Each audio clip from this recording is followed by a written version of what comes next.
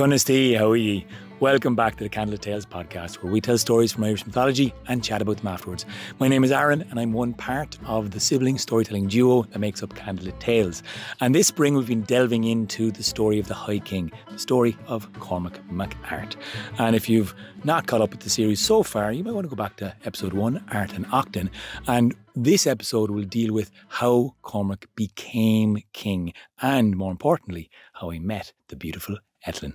Now, if you want to support this podcast, you can be like our Patreon supporters who've gone over to patreon.com forward slash candlelit tales and offered a small donation. And they also get to join us on a monthly Zoom call and chat to us and get to know us. So you can do that, or you can just go to our website, candlelittales.ie, and give a one time donation on the PayPal button. Or you want to just find out about live shows, workshops that we do, well, we have them on our website as well. But if you want to just listen to the story, listen away. hey, Sorcha, tell us the story, will you?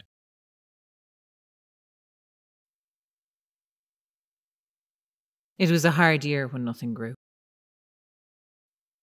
No crops, no acorns on the oak trees. All of the people, all of the animals in Ireland, going about gaunt and hollow eyed, starving. There was talk of the wolves coming down from the mountains. People were fearful, and people were hungry. And although Cormac didn't see wolves the way most people saw wolves, he could feel as well as anyone else when things were out of balance.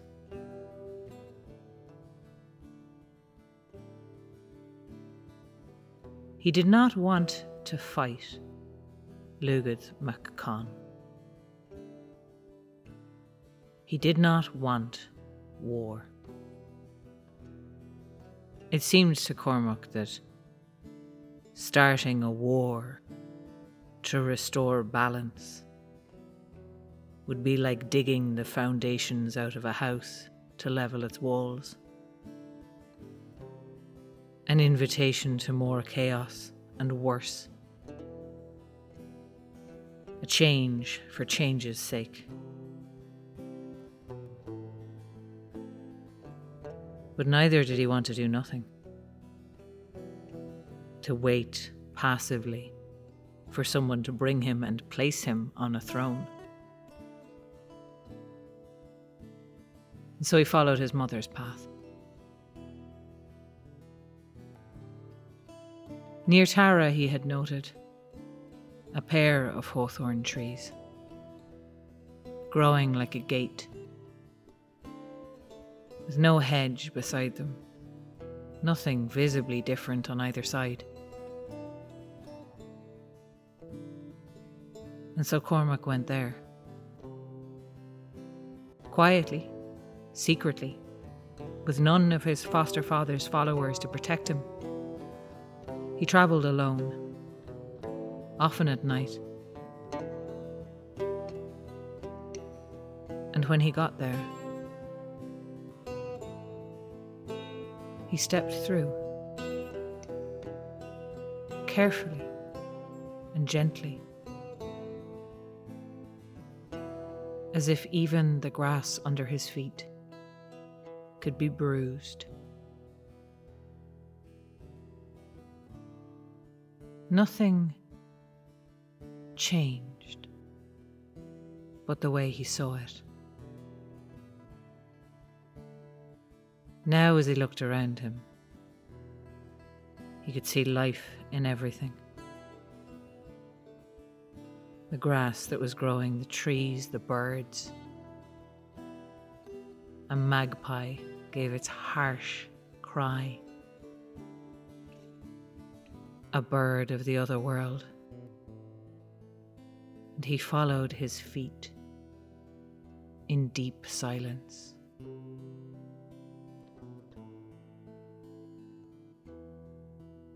Cormac came to a clearing, and he saw the woman there. Half of her was lovely, and half of her was blood soaked. She reached out her unstained hand towards him and said, You, you are the man who would be king. Cormac nodded. And you are Maeve Lethderg, he said.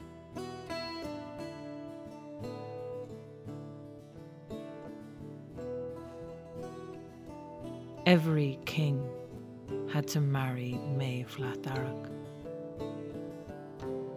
Cormac's father had married her. Cormac's grandfather had married her. Perhaps at one time Lugaid Mac Con had married her, but she had turned her face away from him. And now in the clearing in the other world, she looked at Cormac and Cormac looked at her.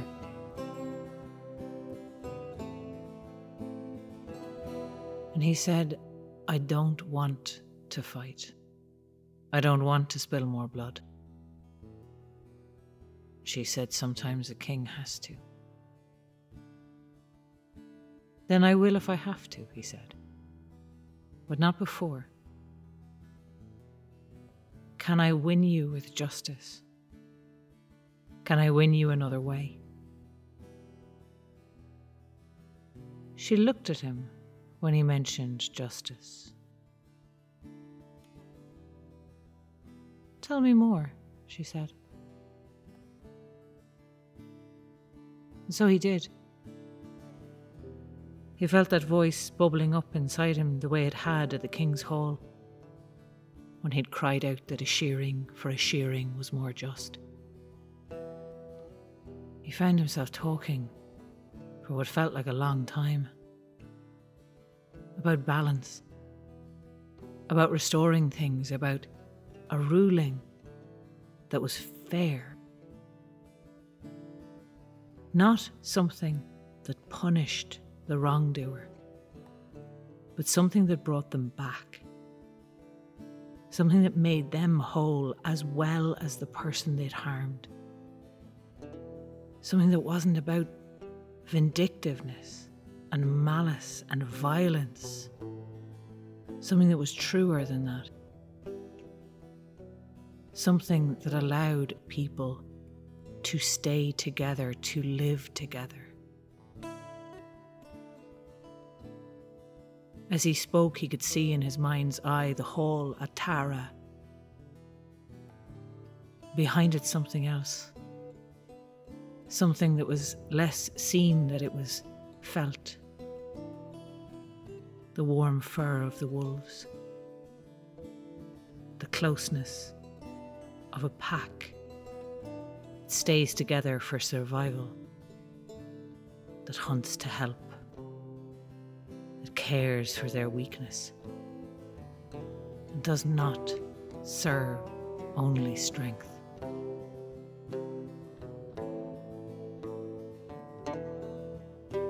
He saw the goddess listen and he noticed a change in her. And when the words dried up in his mouth, she looked back to him and said, I'll give you my hand, my white hand, and you will be king at Tara. But no king alone can rule. Each king at Tara must have another half. You must marry me, yes, marry the land, pledge yourself to me. But you need a mortal wife. You need a woman who is your equal, who will sit by you.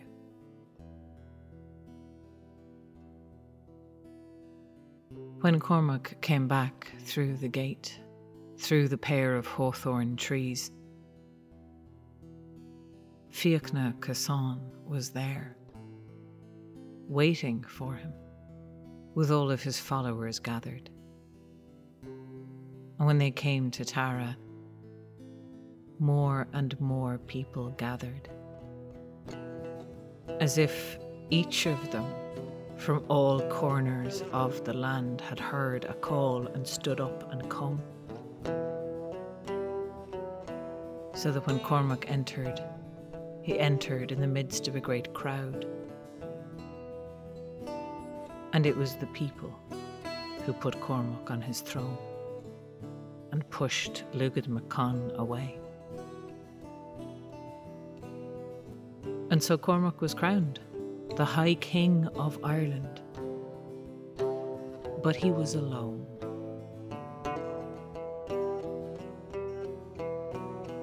He could feel the promise that he had made to Maeve Lethderg, like a weight around his neck, pulling him down, distracting him. Now, all those around him, all of his supporters, seemed to agree with the goddess that he needed to marry, and he needed to marry with some urgency. But to marry for the sake of it, to marry a woman just because he needed a woman seemed so wrong to Cormac. He could not marry just anyone. He had to find a queen, he had to find his queen. A woman his equal a ruler like him. One day, when Cormac was out walking, to get away for a time from the pressures of kingship, from the mounting pressure to be introduced to every girl in Ireland, he came across a strange sight. There was a little house built at the bend of the river. Small, not very grand. And he saw a woman come out. And he saw her gathering rushes. And then she did a peculiar thing. She took all the rushes that she'd gathered and she divided them into two different piles a larger pile of rushes and then a smaller pile where she'd selected carefully only the softest, only the most pliable, only the best, and put them aside. He saw her call the cattle for their milking, and he saw how the first milk from each cow went into one pail that she put aside, and all the rest of the milk into another. and then he saw her go to the river and draw water. Again, she had two buckets. One, she gathered, as most people Cormac had seen gather water, from near the bank, where it was easy to dip and get. Then he saw her gather up her skirts and wade out into the swift current, where the water was coldest and cleanest and fill another pail there. The cleanest water, the softest rushes, the best milk, all set aside. Now he'd been watching her a while, and so he felt awkward at approaching. But she'd been so absorbed in her work she had not noticed. He asked her, Who is it that you do this work for? And she answered, One who's worthy of it. Cormac heard something in her voice something of sorrow and something of anger. He didn't want to press her, so he asked if he could come back another day and call on her when she was not so busy. She gave her agreement, and they made their arrangement. When next they met, she told him her story. Her name was Eithne, and she was the daughter of the King of Leinster, Cahir Cathermole. Cormac knew the name, Cormac had met the man. But she was not living with her father, she was living with her foster father, Buichead, a man of fabulous wealth. Once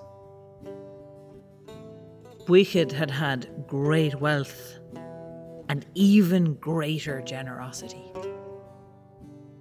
And Eithne told Cormac that it wasn't long when she was staying with her foster father that her own brothers noticed Buichead's generosity and started to take advantage.